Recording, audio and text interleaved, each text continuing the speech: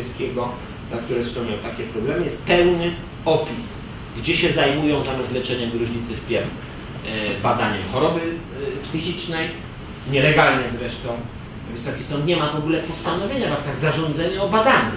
Jest napisane Z i coś, jakiś dokument niezwykły sędziego Kryże. Powinien być za to ścigany, za ten dokument zresztą niedoręczny, e, ani mnie, ani adwokatów. Otóż Mógłbym godzinami Wysoki Sądzie opowiadać, jakie były warunki. No to po prostu najgorszy areszt PRL-u, blisko MSW, pilnowany. Klawisze byli o mentalności stalinowskiej.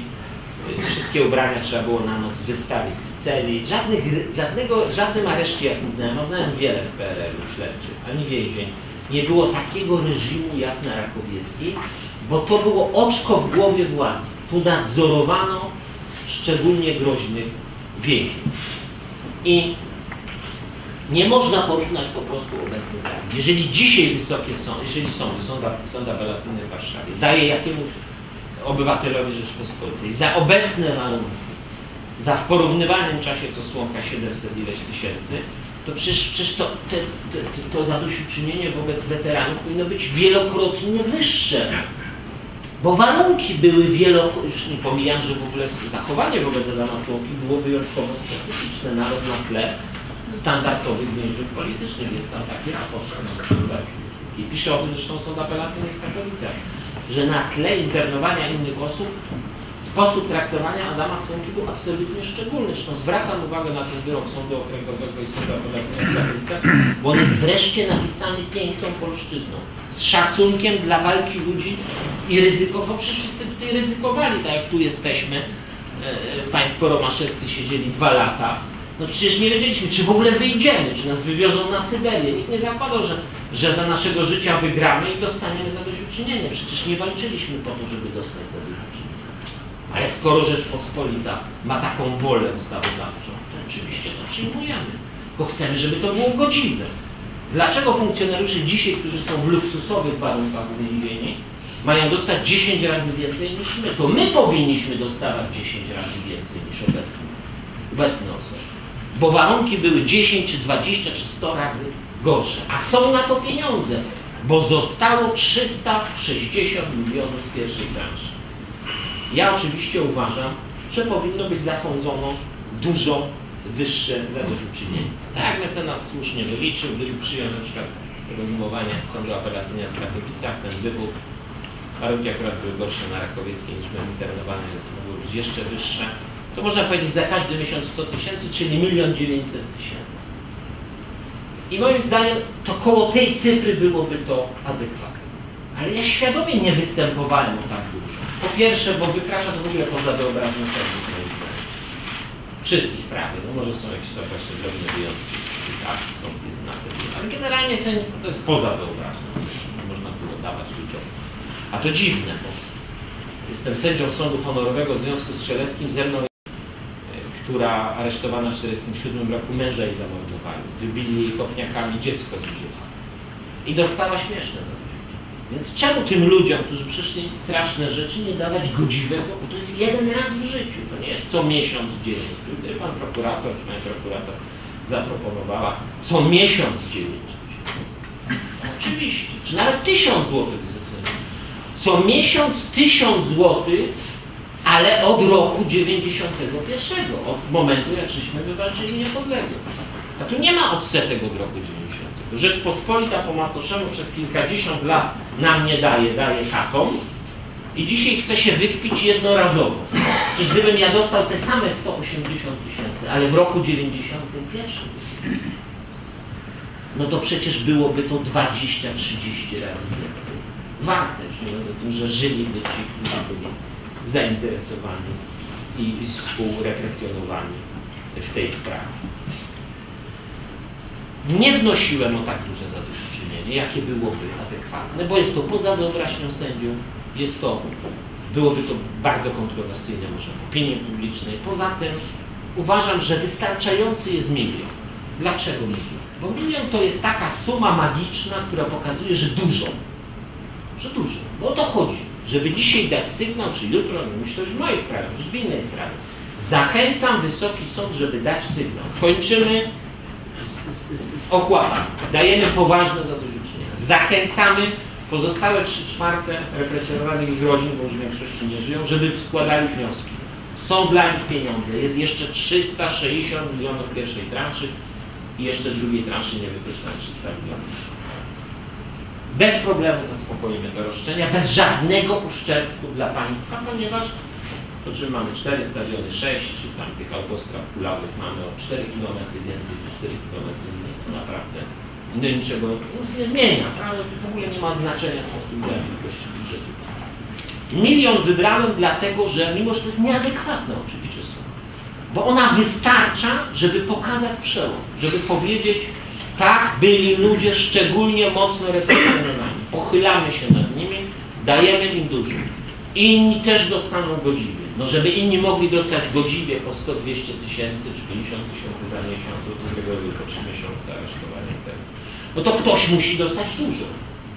A kto ma dostać dużo? No dużo powinni dostać ci, którzy szczególnie mocno wycierpieli. Zamordowani. Jacek Wierzy, Jasia Kępińska, Darek Stolarski i tak dalej. Można wymieniać ofiary e, nasze z sejmu, naszych kapelanów, księży Suchowolca, Niedzielaka, Popiełuszki i tak dalej, kapelanów i Solidarności. No przede wszystkim tym ofiarom, poległym pomordowani, tym, którzy ponieśli największe cierpienie, najwyższe. No ale żeby tym innym móc dać 50-100 tysięcy, no to tym, którzy byli 30-50 100 razy dłużej aresztowani, Andrzej Roskowski był 4 lata przed więzioniem, e, to no im trzeba dać więcej. No żeby tu była jakaś zasada i żeby zachęcić do wykorzystania orzeczenia Trybunału Konstytucyjnego, do ponawiania wniosków tych wszystkich, bo prawie 95% dostała do 25 tysięcy złotych osób represjonowanych. To jest ważna sprawa. I to jest sprawa dotycząca zadośćuczynienia. Poza tym jest jeszcze jedna rzecz, którą chcę powiedzieć Sądowi. W trakcie tego procesu w Warszawie, w Sądzie Okręgowym, zetknąłem się z dokładnie takimi samymi bezprawnymi działaniami wobec mnie, jakie podjął sędzia Krzyżek i Aleksandrow e, w czasach totalitarnych. Znaczy sędzia Wojciech Małek, rzecznik prasowy Sądu Okręgowego w Warszawie, w styczniu ubiegłego roku na rozprawie podjął decyzję o wyrzuceniu z sali rozpraw dziennikarzy, mojej rodziny, publiczności, kombatantów przez policję, utajnieniu rozprawy, wyrzuceniu mojego adwokata. Nawet nie pozwolono, żeby pan mecenas Harasiu był jedną z tych dwóch osób, które wnioskowałem jako przy wyłączeniu jawności można dwie osoby wskazać do mecenasa. Więc po prostu wszystkich wyrzucono, mnie w kajdankach zostawiono na rozprawie. W rozprawie o zbrodnie sędziów Sądu Wojewódzkiego z tego budynku.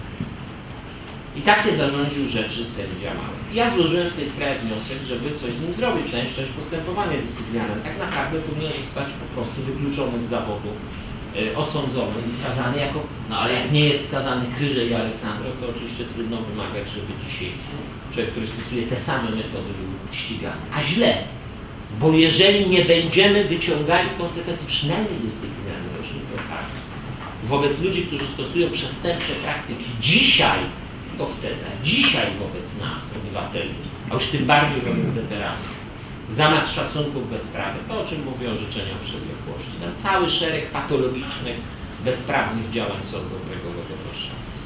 Otóż jeżeli będziemy tolerować, przyzwalać na to, że sędziowie dzisiaj będą łamać podstawowe prawa obywatelskie, szczególnie weteranów, osób, które powinny być pod szczególną ochroną, to przecież nie utworzymy szacunku wzajemnego, czyli poczucia naszego, że to jest nasze państwo, nasz wymiar sprawiedliwości, wreszcie nasze sądy, że się o nas dba, że możemy spokojnie odejść na emeryturę i umrzeć, bo Rzeczpospolita jest w dobrych rękach.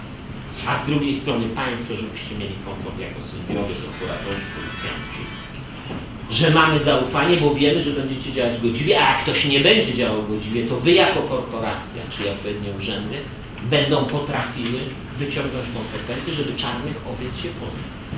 Na razie ze sprawy sędziego Malka jest taki morał, że został po aresztowaniu mnie i po tych bezprawnych działaniach awansowany na przewodniczącego Wydziału 8 Nagrody Sądu Okręgowego w Warszawie. Szczególnie ważnego na kancelarię tajną.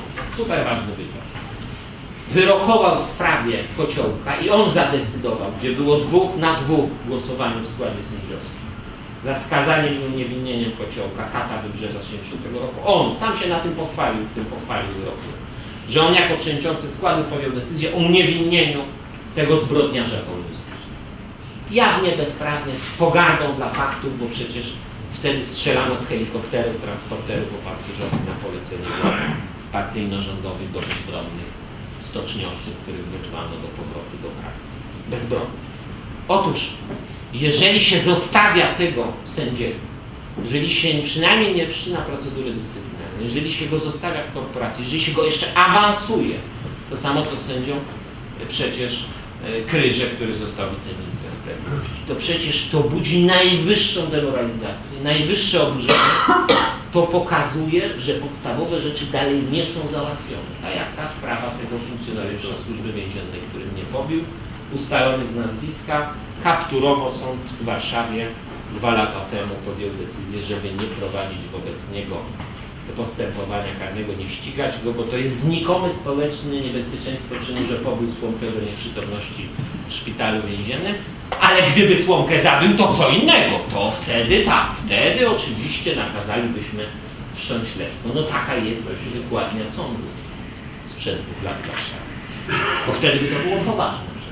No nie mam dobrych wiadomości, żyję i zamierzam dalej pilnować tych spraw. Uważam, że ta kwestia zadośćuczynienia jest szansą dla opinii publicznej, dla nas weteranów, a przede wszystkim dla wymiaru sprawiedliwości, żeby zasadniczo zmienić sposób relacji z obywatelami i z nami jako przedstawicielami światowej części narodu. Dlaczego to jest ważne dla mnie, na przykład dla KPR? Za chwilę będzie przed Sądem Okręgowym i Sądem Apelacyjnym w Warszawie proces lustracyjny Leszka Moczuskiego. Przez lata bezprawnie sądy wydawały zresztą różne wyroki w jego sprawie lustracyjnej. Z jego wniosku. Bardzo ważna dla nas sprawa. Jaką my mamy gwarancję, że nie będzie znowu sędzia Małek, czy Tuleja, czy inny zajmował się przywódcą opozycji demokratycznej, gdzie wszystkich agentów uniewinniono, prawda, po kolei, Wałęsę, Kwaśniewskiego i tak dalej.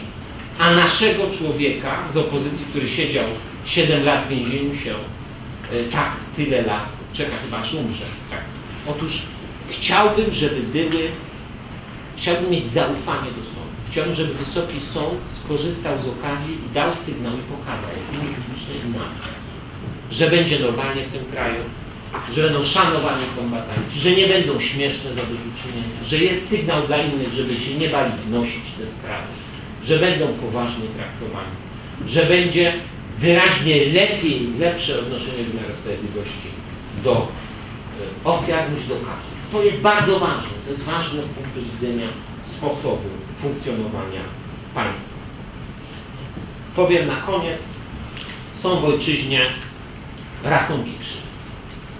Obca dłoń ich nie przekreśli. Nikt za nas nie rozwiąże naszych problemów. Ani Unia Europejska, ani Niemcy, ani Rosjanie. Nikt. Sami się musimy z nimi uporać. Złożyłem ten wniosek, żeby pomóc wymiarowi sprawiedliwości się z tym uporać. Chciałbym europejskich standardów, chciałbym być dumny z polskiego wymiaru sprawiedliwości. Dlatego wnoszę Wysoki Sąd o działanie w ramach nowej linii orzeczniczej. Proszę o uwzględnienie naszego wniosku. Dziękuję bardzo. Dziękuję bardzo.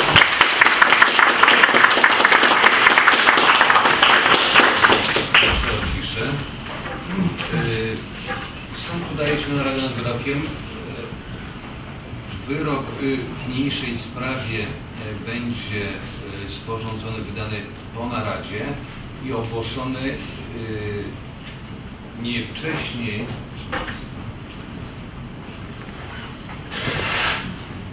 nie wcześniej niż o 14.30, przy czym sąd nie jest w stanie określić y, dokładnej godziny. Dlaczego? Dlatego, że do rozpoznania ma jeszcze co najmniej jedną sprawę.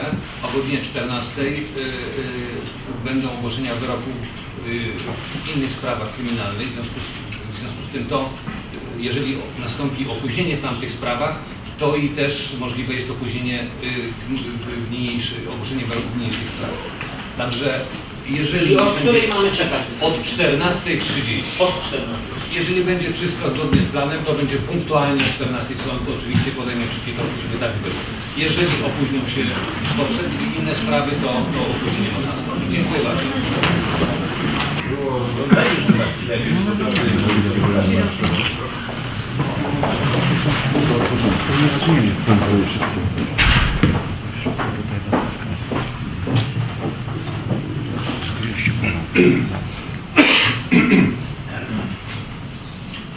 Proszę wszystkich o powstanie. Sąd odczyta wyrok. Sygnatura A2 AK 143 łamane przez 13. Wyrok w imieniu Rzeczypospolitej Polskiej dnia 20 maja 2013 roku. Głośniej!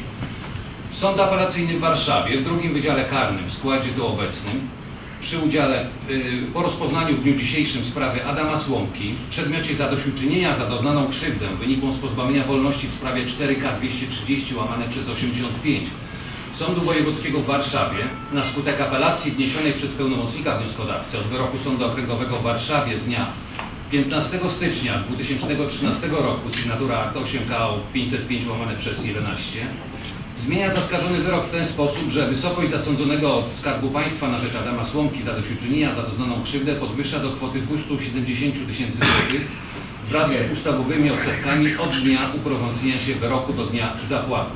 Pozostałej części utrzymuje w mocy zaskarżony wyrok i kosztami postępowania za postępowanie odwoławcze, kosztami sądowymi za postępowanie odwoławcze obciąża Skarb Państwa. Tu następują podpisy członków składu orzeczenia. Proszę usiąść.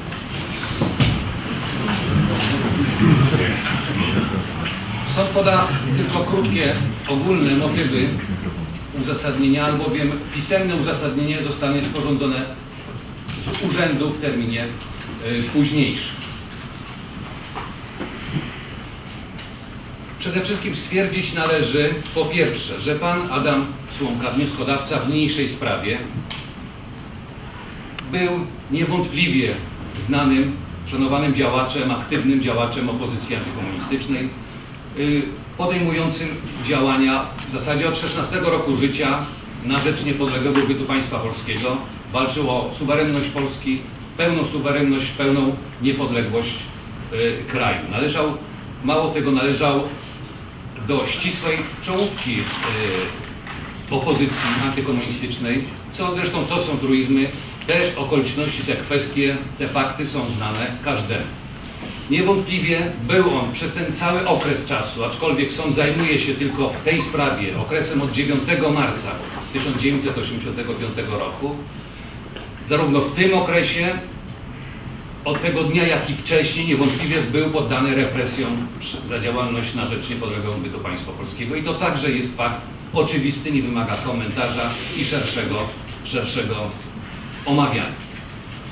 Nie ulega wątpliwości, że doznał w wyniku y, tej, y, y, tego rodzaju działalności patriotycznej, niepodległościowej krzywdy i w wyniku tego nie tylko należy mu się powszechny szacunek i uznanie za tą działalność niepodległościową, ale także za wyrządzoną krzywdę, krzywdę przez państwo należy mu się w sposób oczywisty odpowiednie zadośćuczynienie, naprawienie tych krzywd, które powinno być odpowiednie. Problem cały tkwi właśnie w ocenie słowa odpowiedni, a więc w miarkowaniu zadośćuczynienia. Jest to kwestia bardzo ogólna, dlatego też czasami w orzecznictwie występują pewne rozbieżności. Ale zawsze w kwestiach prawnych, zresztą na dzisiejszej sali, także padły różne argumenty z obu stron, wskazujące na to, co powinno być uwzględnione przy ocenie tej krzywdy. Przy czym te argumenty, które strony podniosły, no w większości mają y, niestety pozaprawny charakter. Oczywiście od strony logicznej należy się z, tymi, z tą argumentacją zgodzić, zgodzić. Te argumenty, te fakty podawane przez strony, no niewątpliwie przemawiają do wyobraźni, y, są logiczne, y, y, są przekonujące. Ale sąd musi kierować się pewnymi kryteriami, które zostały określone przez ustawodawcę. Sąd jest ustami ustawy i musi stosować te zasady, te kryteria przy ocenie, przy miarkowaniu krzywdy, które zostały ustalone przez ustawodawcę. A jakie okoliczności bierze się pod uwagę? Przede wszystkim miarkuje się zadośćuczynienie, czy też szkodę, chociaż tutaj w tym przypadku nie nastąpiła, w tej konkretnej sprawie w stosunku do tej konkretnej osoby. Dlatego też te wszelkie argumenty, y, aczkolwiek przyjęte przez sąd do wiadomości, znane sądowi z urzędu, dotyczące wysokości odszkodowania, no nie mogą jednoznacznie przesądzać o wysokości zadośćuczynienia. Faktem jest, że te kwoty są podawane przez e, pana pełnomocnika, zostały zasądzone w takich wysokich, e, że, że w takiej wysokości zosta- zostały zasądzone. Ale też faktem jest, że mamy też i kwoty innego rodzaju zasądzone w sprawach tak zwanych e, powszechnie e, stalinowskich, czyli z, okresu stalinowskiego. Te rozbieżności są istotnie rażąco, e, rażąco z jednej strony niskie, z drugiej strony rażąco wysokie. I te argumenty, te argumenty, że powiedzmy, że te kwoty w mniejszej sprawie powinny być takie albo mniejsze niż w, e, przy zasądzaniu odszkodowania czy zadośćuczynienia e, w stosunku do kombatantów z okresu stalinowskiego, e, albo też powinny być takie same co- do tych osób, które były wskazane przez pana Mamocnika, no, są takimi argumentami, aczkolwiek, tak jak jeszcze raz podkreślę, logicznymi, to, to y, nie znalazły one, powiedzmy, odzwierciedlenia w orzecznictwie Sądu Najwyższego i w orzecznictwie sądów powszechnych. Przede wszystkim tak samo no, fakt, że na przykład jeden z argumentów, nie będę omawiał pozostałych y, tych argumentów podniesionych przez strony, gdyż nie o to chodzi. Chodzi o, o wskazanie argumentów, które przemawiały za zasądzeniem takiego, a nie innego zadośćuczynienia w stosunku do pana Adama Słomki ale tylko, tylko jako przykład podam. No, zgodzić się należy. Oczywiście jest to e, argument logiczny przekonujący, e, podniesiony przez pana e, wnioskodawcę, że są e, w kraju osoby, które stosowały represje, a które rzeczywiście zarabiają więcej, e, e, mają, piastują odpowiednie pozycje, ale to przecież sąd e, na to nie ma żadnego wpływu i to nie może no, przesądzić o tym, że w danej konkretnej sprawie to odszkodowanie ma być, czy zadośćuczynienie ma być takie bądź też inne, czyli albo takie samo niskie, albo takie samo wysokie. Przy miarkowaniu natomiast zadośćuczynienia sąd musi brać pod uwagę przede wszystkim po pierwsze rozmiar krzywd, które doznał, doznała dana osoba represjonowana, a więc jakiego rodzaju represje były stosowane, czy była stosowana przemoc, czy, e, czy przemoc fizyczna, czy przemoc e, psychiczna, przez ja- jaki długi okres czasu, jakiego rodzaju te krzywdy e, e, zostały doznane przez, przez osobę represjonowaną, przez jak długi okres czasu, a więc to są w jakich warunkach e, przebywał, przebywała osoba represjonowana. Przecież sam pan wnioskodawca wskazał, że, że nie wszyscy opozyc- y, y, członkowie opozycji y, antykomunistycznej przebywali w tych samych warunkach. Niektórzy przebywali w takich warunkach jak pan Adam Słomka, niektórzy w- w- przebywali powiedzmy w warunkach zdecydowanie, zdecydowanie łagodniejszych. Pan, pan wnioskodawca używając jego określenia wskazał wprost, o ile przypominam sobie, y, y, no, no prawie warunki zbliżone do, może nie do domów, do warunków czasowych, ale w ośrodkach powiedzmy wczasowych y, byli internowani. Pozbawieni wolności, izolowali. No i, i, i tutaj wydawałoby się, że, że i jedna osoba, i pan Adam Słomka, prawda, no jeden i drugi był pozbawiony y, y, obywatel y, wolności. No jednak ta sytuacja jest rażąco różna, prawda, w związku z tym ten element bardzo ma istotne znaczenie przy ocenie e, e, miarkowania e, zadośćuczynienia. Stosowane metody, tak jak już wcześniej mówiłem. Co innego są jakieś rozmowy, dyskusje, nawet wielokrotne, m, mające na celu złamanie kręgosłupa ideologicznego, a co innego, czyli przemoc powiedzmy taka lekka przemoc psychiczna, a co innego bicie, kopanie, uderzanie w głowę, w, w, no, y, spowodowanie zagrożenia dla, dla zdrowia, a nawet dla życia, nękanie nocne i, i, i także psychiczne. Przecież przemoc fizyczna i psychiczna ma różne odcienie, ma różne skrajności. Także tutaj, dlatego też w różnych sprawach te wysokości odszkodowawcze, te wysokości ustalonego zadośćuczynienia a jeżeli warunki zachodzą do odszkodowania, to także odszkodowania, ale tutaj to są inne, inne y, kryteria przyjęte. Tutaj głównie chodzi o, o krzywdę, bo przy odszkodowaniu to już też kwestia, ile dana osoba straciła poprzez izolację. Natomiast tutaj chodzi o krzywdę doznaną konkretnie przez daną osobę. A więc te elementy w ogólności, szczegółowo są to opiszę w uzasadnieniu wyroku, y, ale są to, są to najważniejsze elementy mające decydujący wpływ na miarkowanie zadoś, zadośćuczynienia. Wracając do realiów niniejszej sprawy, już konkretnie odnosząc się, dlaczego taka inna kwota została przez sąd za, za, y, zasądzona tytułem zadośćuczynienia za doznaną krzywdę. Stwierdzić należy ogólnie, że czego nie kwestionował pełnomocnik wnioskodawcy i sam wnioskodawca, że ustalenia faktyczne poczynione w niniejszej sprawie przez sąd pierwszej instancji w istocie nie budzą wątpliwości. Oczywiście e, pewne elementy może nie, nie znalazły e, szczegółowe, jeszcze o których wspominał Pan Adam Słomka, e,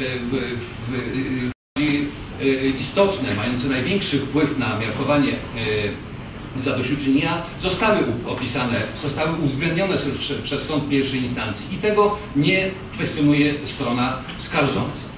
A więc przede wszystkim sąd słusznie, prawidłowo ustalił, że pan Adam Słomka przybywał, y, został zatrzymany 9 marca 1985 roku właśnie w Warszawie podczas y, spotkania przy ulicy Chmielnej 128 y, w, w, na posiedzeniu Rady Politycznej KPN-u. Natomiast na, osadzony w areszcie śledczym Warszawa Mokotów 10 marca 1985 roku przedstawiono mu zarzuty popełnienia przestępstwa z artykułu 276 paragraf 3 KK w związku z 282 paragraf 2a paragraf 1 KK w związku z, z artykułem 10 paragraf 2 kodeksu karnego z 1969 roku i w tym samym dniu zastosowano w stosunku do niego tymczasowe aresztowanie. Przebywał w tymczasowym areszcie pan wnioskodawca Y, co najmniej do dnia 22 kwietnia 1986 roku, kiedy to został skazany na karę dwóch lat i sześciu miesięcy pozbawienia wolności. Karę bardzo, bardzo wysoką.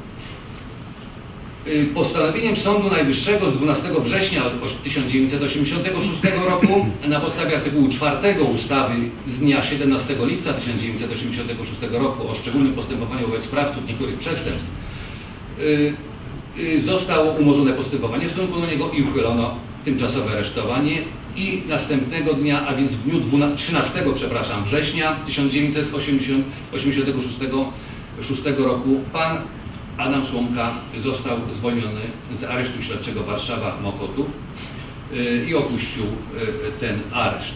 A więc łącznie, łącznie wnioskodawca przebywał przez okres w izolacji przez okres jednego roku, 6 miesięcy i 4 dni, przy czym z większą część tego okresu, przez większą część tego okresu izolacji był tymczasowo aresztowany. Każda osoba tymczasowo aresztowana i w świetle uprzednio obowiązujących przepisów i w świetle obecnych obecnie obowiązujących przepisów i przepisów obowiązujących we wszystkich systemach demokratycznych także, osoba tymczasowa, tymczasowo aresztowana jest ograniczana w korzystaniu swoi, ze swoich uprawnień, ze swoich praw. Nie ma takich samych zasad korzystania z, z, z korespondencji, z widzeń, yy, prawda, z przepustek i innego rodzaju udogodnień. A więc przez ten taki, tak długi okres czasu już sam, samego, y, y, nawet z y, samych przepisów wynikało, wynikały pewne ograniczenia w stosunku do Pana wnioskodawcy. Niezależnie od tego, to także ma bardzo istotne znaczenie przy ocenie krzywdy, bo ta krzywda w przypadku tymczasowego aresztowania jest większa, ta wolność jest bardziej ograniczana, a w przypadku Pana wnioskodawcy nadto niezależnie od tych ustawowych uprawnień, które czasami przysługiwały, to jeszcze w grę wchodziły, e, wchodziły e, bezprawne działania e, służby więziennej ograniczające ponad miarę i bezprawnie, wbrew przepisom, i kontakt ze światem zewnętrznym, przede wszystkim z rodziną, a to w formie widzeń, a to w formie bezpośrednich kontaktów, a to w formie, a to formie korespondencji. Y, także jeśli chodzi o dostawy żywności, to tutaj w przypadku paczek były również utrudnienia. A więc te uprawnienia które i tak z natury były ograniczane, są ograniczone w stosunku do osób tymczasowo aresztowa- aresztowanych w sposób bezprawny jeszcze dwójnasób zostały y, ograniczone w stosunku do pana, y, do pana wnioskodawcy. Dopiero 12 lutego, tak na marginesie, przypomnę, że dopiero 12 lutego 1991 roku pan Adam Słomka został całkowicie zrehabilito- zrehabilitowany poprzez uniewinnienie go od popełnienia zarzucanego mu przez sąd, przed y, wyrokiem sądu, y, sądu y, Najwyższego. A więc sąd prawidłowo ustalił, że ten okres izolacji był bardzo, bardzo długi. Sąd pierwszej instancji, tego nie kwestionuje strona skarżąca, sąd pierwszej instancji także uwzględnił, ustalił, może inaczej, ustalił w sposób prawidłowy, że takie okoliczności mające bardzo duży wpływ na, na rozmiar krzywdy, którą doznał wnioskodawca, takie okoliczności jak warunki, w jakich odbywał, e, e, e, był tymczasowo aresztowany i odbywał karę. Te warunki zostały szczegółowo opisane w uzasadnieniu wyroku.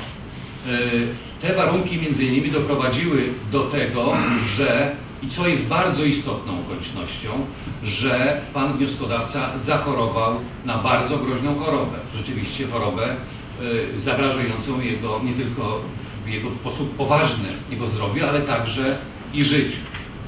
Te warunki, y, mimo tego, że, że objawy, zewnętrzne objawy były w sposób ewidentny, widoczne, ale nie dla wszystkich, nie dla funkcjonariuszy służby więziennej, e, którzy wówczas e, zajmowali się szczególnie troskliwie e, panem wnioskodawcą, ale także i dla więziennej służby więziennej. Także to wszystko szczegółowo i w sposób prawidłowy opisał sąd pierwszej instancji i o czym zresztą dzisiaj wnioskodawca także w sposób szczegółowy do, do czego na, nawiązywał.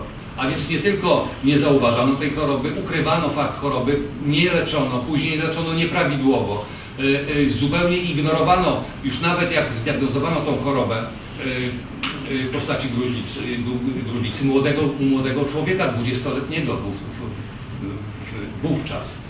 E, Mało tego, no, stosowano tak perfidne metody, e, jak, jak właśnie e, e, spacer w, ubraniu nieprzystosowanym w, w okresie zimowym, jak, jak e, kąpiel pod zimną wodą, otwieranie, otwieranie okna, e, prawda, a więc niemożność na rozprawie e, e, napicia się wody i szereg, szereg innych działań, które no ewidentnie niemożliwość uzyskania stosownych leków, później zaaplikowanie leków w nadmiernej ilości e, e, w taki sposób, że to powodowało wzrosty mięśni i dodatkowe dolegliwości fizyczne, a więc tych dolegliwości było bardzo dużo e, o charakterze fizycznym. Ponadto sąd uwzględnił, e, znaczy nie uwzglę- e, sąd e, ustalił prawidłowo także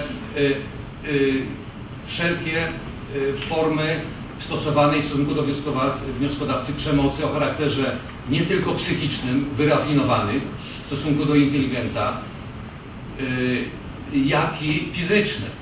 Y, Fizyczna przemoc to przede wszystkim to pobicie, o którym wnioskodawca wszy- y, szczególnie,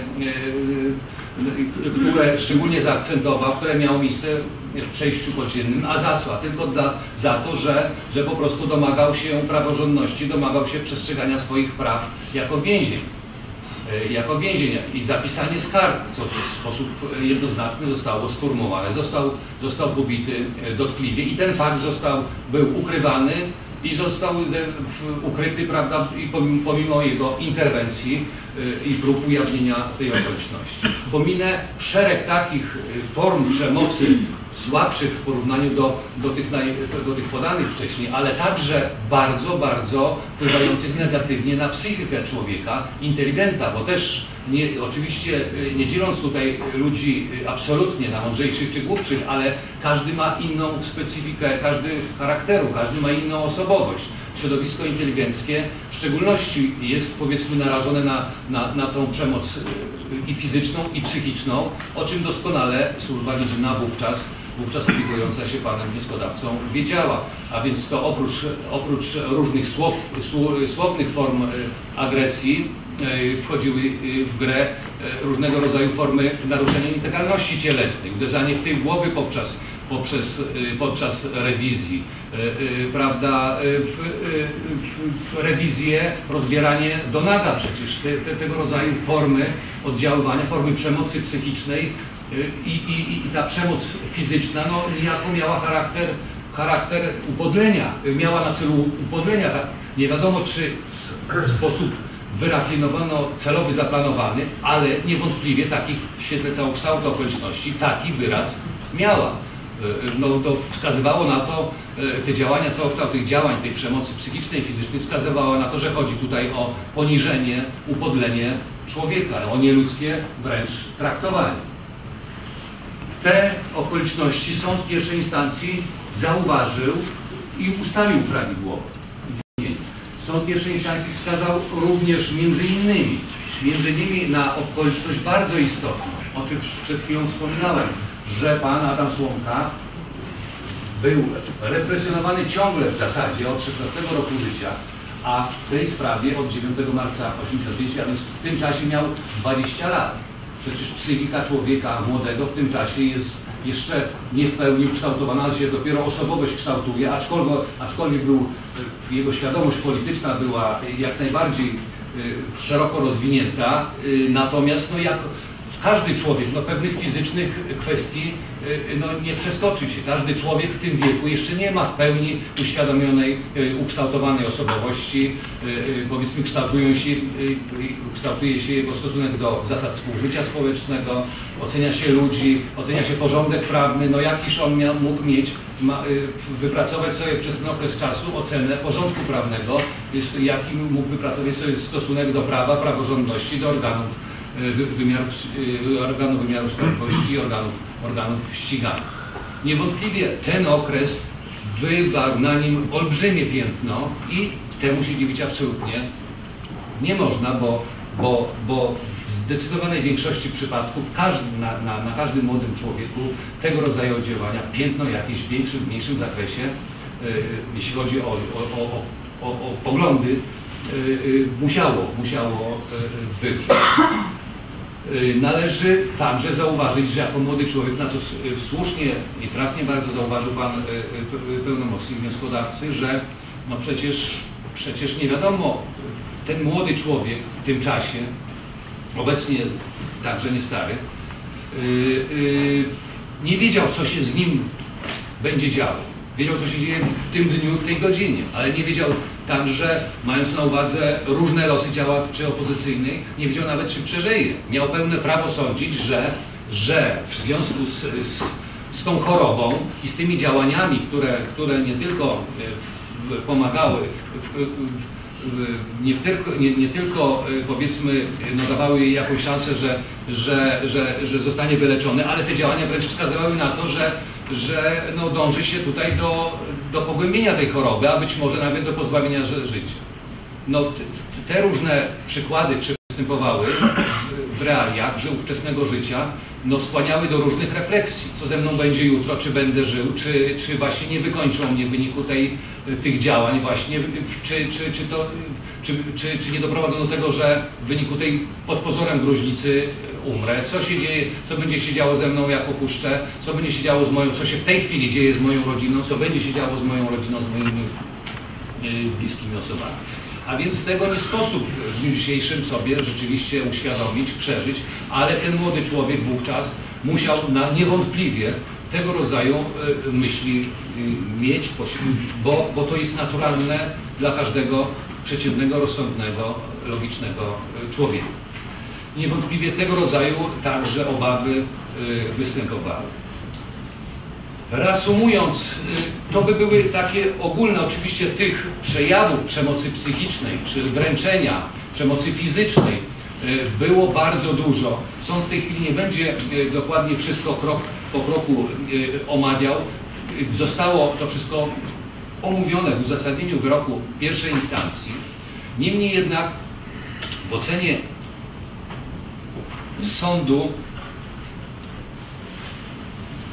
apelacyjnego sąd pierwszej instancji także doszedł do właściwych wniosków, wniosków oceniając rozmiar krzywdy.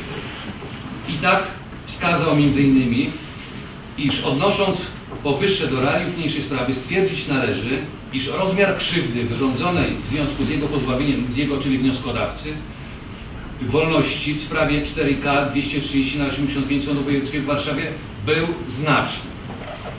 Na koniec uzasadnienia, na końcu, w końcowym fragmencie uzasadnienia sąd także słusznie skonstatował, sąd pierwszej instancji, że suma przedstawionych powyżej okoliczności wskazuje, że represje, jakie dotknęły Adama Słomkę, nawet jak na standardy PRL-u lat 80 w zakresie postępowania z opozycją polityczną były wyjątkowo okrutne. Zarówno jedno, jak i drugie stwierdzenie, ustalenie jest prawidłowe. Sąd drugiej instancji, sąd apelacyjny podziela to stanowisko sądu pierwszej, instancji, sądu, sądu pierwszej instancji. Niemniej jednak sąd pierwszej instancji, ta kwota zadośćuczynienia zasądzona przez sąd pierwszej instancji w ocenie sądu apelacyjnego jest nieadekwatna do, do ustalonej krzywdy. Zdaniem y, sądu y, apelacyjnego y, zdecydowanie ten rozmiar tej krzywdy zdecydowanie uzasadnia, uzasadnia wymierzenie kwoty 270 tysięcy złotych. Oczywiście pytanie może każdy zadać, czy to dużo, czy to mało. Dla jednego to jest dużo, dla drugiego to jest mało. Sąd tutaj także musi zobiektywizować te kryteria. I przede wszystkim takim podstawowym kryterium, którym kieruje się sąd przy miarkowaniu, przy ustalaniu wysokości tego zadośćuczynienia, to jest kryterium zasobności przeciętnego obywatela, więc no, chodzi o, o przeciętne, o sposób życia, przeciętne dochody przeciętnego obywatela danego kraju. Oczywiście jeden zarabia o wiele więcej i inny zarabia 1200 zł emerytury. Pobiera a nawet wynagrodzenie. Jeszcze inny na podstawie umów śmieciowych pracuje i w ogóle prawda, te, te, te, te zarobki ledwo, ledwo, ledwo starczą na życie. W związku z tym tutaj nie można indywidualnych przypadków brać pod uwagę. No, trzeba w jakiś sposób zobiektywizować ten, ten, no, no, to kryterium, dlatego też chodzi o to przeciętne miesięczne wynagrodzenie. To przeciętne miesięczne wynagrodzenie wynosiło 3,5 tysiąca w ostatnim kwartale 2012 roku. I mając na, natomiast, jeżeli podzieli się kwotę zadośćuczynienia zasądzoną na rzecz pana Adama Słomki na liczbę miesięcy izolacji, a więc na 18 miesięcy, to ta kwota miesięcznie wynosi 15 tysięcy złotych. A więc, a więc można uznać, no porównując przeciętną, przeciętne dochody yy, przeciętnego obywatela, więc te, te, te 3,5 tysiąca złotych, można by powiedzieć, że no, nie jest to kwota yy, nie, jest, yy, nie jest to kwota symboliczna, no, że jednak porównując z tymi przeciętnymi dochodami jest to kwota no, dająca nam na, na oczywiście no, nie na takim standardzie jak zarabiają niektórzy, ale na, z punktu widzenia przeciętnego Polaka na, na, na dość, dość, dość wysokim standardzie życia miesięcznego, mówię w stosunku miesięcznym. Oczywiście żadna kwota nie zadośćuczyni tej, w sposób pełny tej krzywdy. Podejrzewam, że nie byłoby chętnych spośród osób równych panu Adamie Słomka, żeby, Słomki, żeby, żeby za, za tą kwotę odbyli karę pozbawienia wolności w takich warunkach oczywiście i z takimi skutkami, które, które, które to odbycie kary, ta izolacja odniosła. No niemniej jednak sąd kryterium jakieś obiektywne y, y, musi znaleźć i te kryterium w niniejszej sprawie za, za, zastosował. Ta kwota w ocenie sądu apelacyjnego odzwierciedla te, te y, szczególne warunki, tą, tą, tą szczególną krzywdę, którą doznał, doznał pan Adam Słomka mając na ocenie te elementy, o których wskazałem wcześniej. Wyrok mniejszy jest prawomocny i nie podlega zaskarżeniu w trybie zwyczajnych środków odwoławczych. Stronom natomiast przysługuje nadzwyczajny, przysługuje nadzwyczajny środek zaskarżenia w postaci kasacji. Obie strony mogą zaskarżyć wyrok w trybie, na podstawie wyrok w drodze kasacji w przypadku z powodu przyczyn, okoliczności wskazanych w artykule 439 Kodeksu Postępowania Karnego, a więc z powodu tzw. Tak bezwzględnych przyczyn odwoławczych. Natomiast w przypadku wnioskodawcy y, y, może być wyrok y, zaskarżony także z powodu innego, rażącego naruszenia prawa, o ile mogło ono mieć wpływ na treść wyroku, przy czym apelacja musi być sporządzona w przypadku pana wnioskodawcy przez swoje, sporządzona i podpisana bez- bezwzględnie przez, przez pełnomocnika, a żeby wnieść apelację należy w terminie 7, y, a żeby wnieść kasację należy w terminie 7 dni licząc od dnia dzisiejszego, a więc od dnia ogłoszenia wyroku złożyć wniosek do tutejszego sądu o nadesłanie odpisu wyroku wraz z uzasadnieniem i kasację można złożyć w terminie zawitym 30 dni od daty otrzymania odpisu wyroku wraz z uzasadnieniem. Kasację składa się do Sądu Najwyższego za pośrednictwem jednak sądu w Warszawie. Y, Kasacja podlega opłacie w kwocie 750 zł. To wszystko w sprawie. Dziękuję bardzo.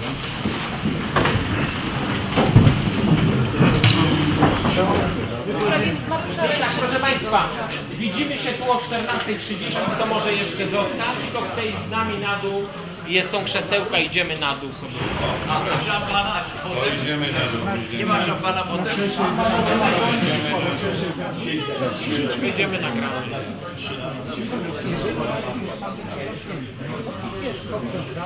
No wyrok jest skandaliczny, wpisuje się dokładnie w taką linię orzeczniczą, jaka była do niedawna, to znaczy mniej więcej 10 razy y, są cenione krzywdy osób walczących o niepodległość słabiej niż funkcjonariuszy obecnego państwa. Jeżeli policjant z Lublina 7 miesięcy temu w tym samym sądzie, w tej samej sali, za ten sam okres uwięzienia, w luksusowych warunkach w wolnej Polsce dostaje 750 tysięcy zadośćuczynienia, a ktoś, kto siedzi w więzieniu, gdzie doprowadzono go do gruźlicy, pobito wielokrotnie, pozbawiono prawa do korespondencji, trzymano w karcerze, no dostaje trzy razy mniej, no to to pokazuje, jak sędziowie e, postkomunistyczni e, traktują mm, swoją powinność wobec osób, które walczyły o Polskę niepodległą i praworządną. To pokazuje, że trzeba po prostu zdekomunizować, zlustrować sądy, wyrzucić stąd sitwę dyspozycyjnych sędziów, około tysiąca. No bo jak nie pogonimy tej szajki, to dalej będzie sobie, będą sobie kpić i szydzić w, ży, w żywe oczy z polskich patriotów. A to kryterium y, obejmujące średnią krajową, wymnożone, y, podzielone przez liczbę miesięcy, które spędził Pan w więzieniu, jak Pan ocenia zastosowane to kryterium przez sąd? No, kryterium jest tak śmieszne, że gdyby sądy w Polsce tak y, stosowały prawo, to z przeznaczonych 400 milionów złotych przez Sejm 8 lat temu na zadośćuczynienia dla kombatantów, to jest równowartość 4 km zaledwie autostrad marnych w naszym kraju. Czy tam no, jakiś, jakiś budynek, most. Więc za te niewielkie pieniądze sędziowie raczyli 10% nam przeznaczyć. 90% tych pieniędzy dalej jest nieużywanych. e, Po prostu traktuje nas się jak piąte koło uwozu. No po prostu trzeba z tym skończyć. To jest po prostu kpina, szyderstwo, podłość i głupota przede wszystkim. A dlaczego domagał się Pan akurat miliona? Dlaczego akurat taka kwota? bo co prawda należało się znacznie więcej, bo tu były szczególne represje, ale chodziło o to, żeby pokazać innym, że się coś zmienia w sądach w Polsce, że zaczyna się pochylać nad osobami, którym zabrano majątek, zdrowie, nierzadko życie, bo przecież proste rzeczy do dzisiaj nie są uregulowane, dotyczące no, gigantycznych zbrodni komunistycznych. Mamy naród ogradziony z oszczędności, z majątku, a ludzi pozbawionych zdrowia i życia, zmuszonych do emigracji, pozbawionych mieszkań. Także to wszystko trzeba przecież jakoś zrekompensować, przynajmniej symbolicznie. I nie mówimy o tym, żeby to w pełni zrekompensować, bo to się po prostu nie da. Jest tyle majątków nagrobionych, że dzisiaj Polska nie ma tyle pieniędzy. Ale jeżeli z 400 milionów sądy nie potrafią wydać więcej jak 10% przez 8 lat, 40 milionów dla tych e, patriotów, no to to pokazuje, jak sędziowie po prostu mają stosunek. No ale to widać zresztą po procesie Jaruzelskiego, Kociołka, Kiszczaka, no wszystkich tych bandytów, którzy dawno powinni siedzieć w więzieniu. Będzie Pan się starał doprowadzić do kasacji? Tak, złożymy kasację, bo to jest wymóg złożenia skargi do Europejskiego Trybunału Praw Człowieka. Będziemy wszystkim w Polsce organizować e, ludzi, żeby zaczęli bronić swoich praw, bo to, co się dzieje w sądach, to jest po prostu kpina ze zdrowego rozsądku. To jest po prostu brak elementarnego zrozumienia, że to są instytucje z naszych podatków, które mają służyć obywatelom, a nie wspierać ubeków, chronić bezkarność zbrodniarzy, a ofiary jeszcze wyśmiewać. Okej. Fajnie. Chciałem tak wszystkim podziękować za przybycie, bo to jest ważne, żeśmy byli dzisiaj grupą. Gdybyśmy nie byli grupą, nie było mediów, to sąd by oczywiście nam dzisiaj nie dał w ogóle nic powiedzieć. No już pomijam, żeby nam nic nie dorzucił, bo jednak e, mamy na biuro w Warszawie, prawda? Coś nam dorzucili, także e, nie jest najgorzej, proszę Państwa, mogli jeszcze nam odebrać. Także e, dobrze, że była grupa, bo pokazaliśmy przede wszystkim solidarność, to, że się wspieramy. To jest bardzo ważne. Tak z reguły w sądzie przychodzi jedna osoba wystraszona, bez adwokata, jest bez szans. Tutaj przyszliśmy grupą. Po drugie były kamery. Nic tak bardziej nie jest istotne w sądach niż walka o jawność i prawo do nagrywania. Niedawno przecież zamknęli mnie na sprawie Tomka Sokolewicza, gdzie jest Tomek. Jestem, E, jestem. Na sprawie Tomka tutaj parę dni temu przecież w maju sąd okręgowy y, y, po prostu podjął decyzję, żeby zamknąć kogoś w więzieniu za to tylko, że chciał utrwalić jak jest naprawdę przebieg posiedzenia, prawda? bo sędzia fałszował wcześniej y, protokół, no więc jedyna metoda, żeby go sprawdzić, no to jest nagrywać. Także e, słuchajcie, najważniejsze teraz tak, jest propozycja lokalu e, w Warszawie. E, Obejrzę go, podpiszemy umowę, pomożemy go wyremontować. Myślę, że Państwo też, kto ma umiejętności budowlane, pomoże w malowaniu, remontowaniu. Musimy mieć biuro. Załatwiliśmy już w paru miastach. Warszawa jest bardzo ważna, bo wiadomo, że tutaj jest dużo przyjazdów z całego kraju, dużo spraw ważnych się dzieje w Warszawie. Musimy o tą Warszawę zadbać. Także rozruszamy biuro. Będziemy, ja będę co miesiąc w Warszawie na spotkaniach tutaj całej grupy naszej. Będziemy robili po prostu z całego kraju też akcje, bo tu musimy przede wszystkim pomyśleć o Sądzie Najwyższym. Kluczem w tych haniebnych orzeczeniach jest stanowisko Sądu Najwyższego, który mówi, że co prawda zbrodnie komunistyczne są, nie ulegają przedawnieniu, ale tylko takie, w których zamordowano człowieka. Tak sobie wymyślili. To jest niedawno. Proszę do zdjęcia, jasne, co to jest? Tu, proszę. Panie mecenacie, pan wie, przedstawiać, jaki ma mało historyczne. Sąd ściągnąć.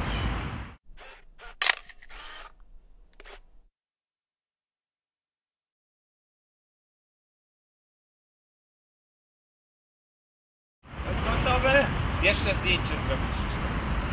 Bo do akt operacyjnych lepsze są zdjęcia niż filmy. No, no.